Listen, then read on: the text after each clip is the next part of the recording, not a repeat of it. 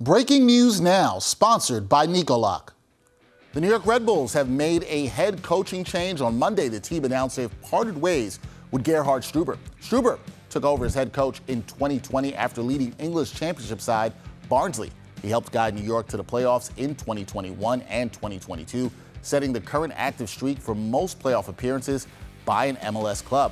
Last season, Struber led New York to new franchise records in away wins with nine and away points earned with 30. He helped lead the club to the semifinals of the 2022 U.S. Open Cup tournament.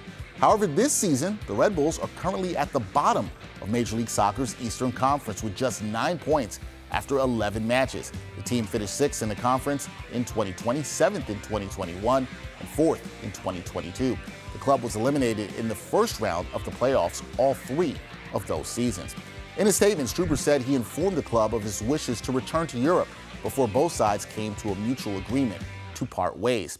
Assistant coach Bernd Eibler has also departed the club. Troy Lesesne has been named head coach through the end of the 2023 MLS season.